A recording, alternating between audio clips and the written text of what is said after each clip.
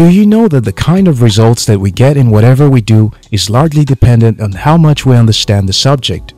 Take a look at arithmetic and mathematics, which some people see as simple because they understand it better. Others see it as something very challenging because they never seem to make meaning out of most of the explanations. Let's come back to the game of wealth. The rich guys understand the money game properly and they play well. Poor people, on the hand, don't understand it so they play the game depending on luck. They hope that their next action will be a favorable one that will earn them the kind of money they have been longing after for years. A famous Buddha quote says, The real measure of your wealth is how much you'd be worth if you lost all your money. See, being rich or poor is just an outcome. What differentiates the rich from the poor is what they know and how they make it work for themselves. Tim Ferriss, an American entrepreneur and author, said, Money is multiplied in practical value depending on the number of W's you control in your life. What you do, when you do it, where you do it, and with whom you do it. For instance, let's play a little game. Say we take all the money of a rich man away, leaving him in the same financial status as another man, a poor man. Which of these two men is likely to make wealth first?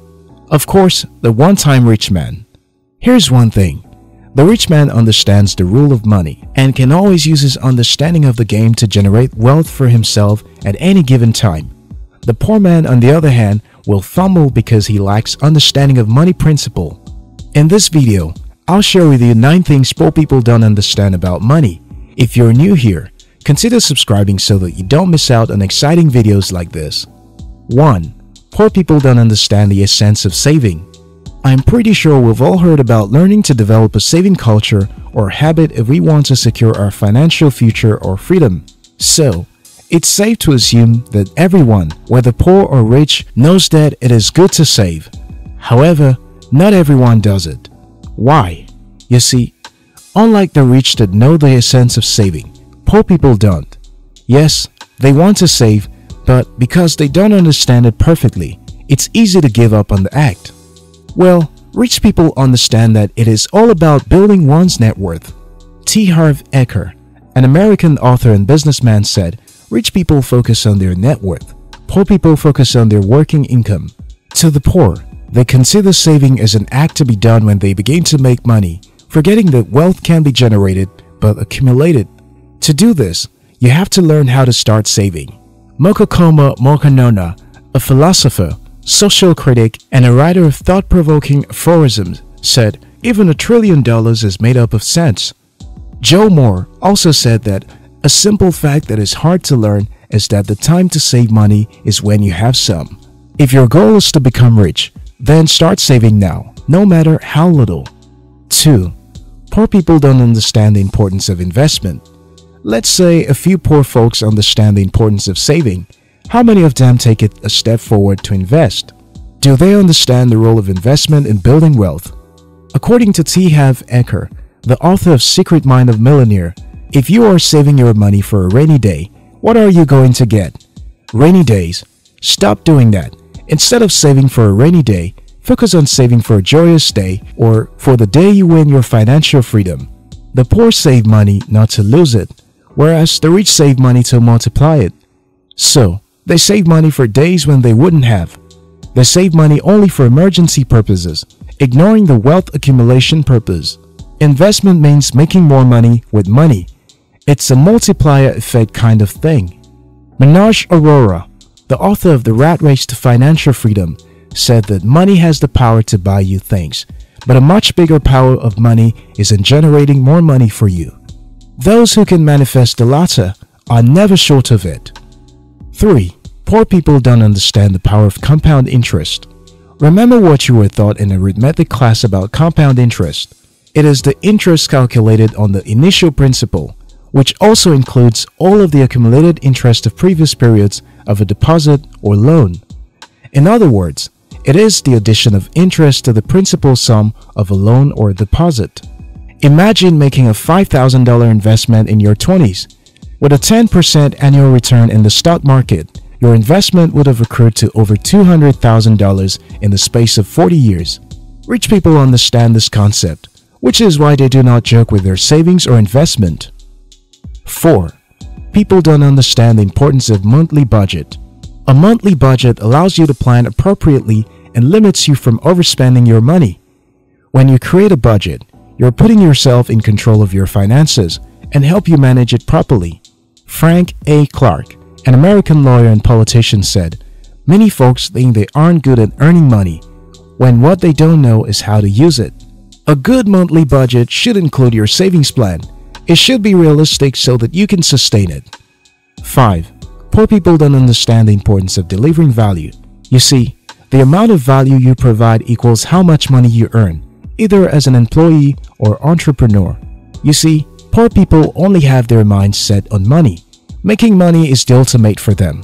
They don't understand value creation, and without this, they cannot make any money. Instead of thinking like this, I want to become the best car delivery service in this community so that we can help people deliver their products in good time and at the right doorstep. They think this. Mark my words, I'll be a millionaire one day, or I'll own a Lambo one day. When you create value, you make money in return. It'll be a byproduct. 6. Poor people don't understand the importance of promoting themselves. When it comes to self-marketing, most people either shy away from the subject or perform a really bad job at it. Poor people are mainly known for this. T. Harv Eker said, Rich people are willing to promote themselves and their value. Poor people think negatively about selling and promotion. Have you ever been in a job interview where the candidate does a bad job speaking about themselves and the value they have to offer? Such candidates are usually in haste to get done with the interview so that they can find out if they got the job or not.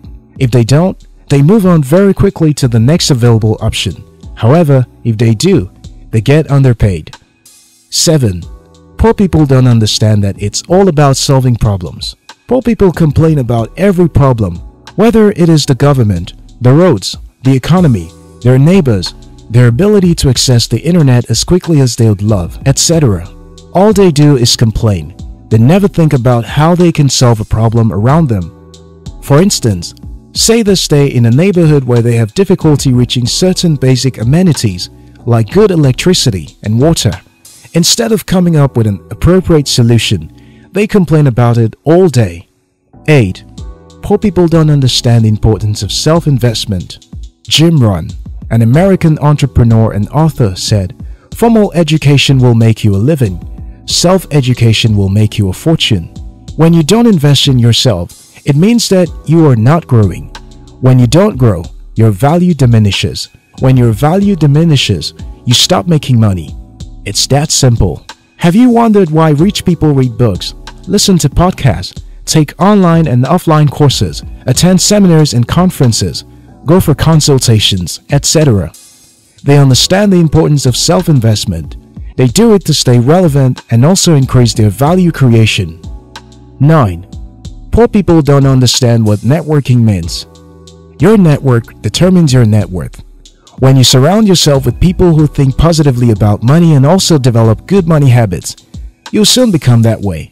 Michael Bassey Johnson said, To be of good quality, you have to excuse yourself from the presence of shallow and color-minded individuals. Rich people always find ways to be in the company of one another so that they can learn and grow. Thank you very much for watching our video. If you like this video, watch more videos on our channel and subscribe. We love you.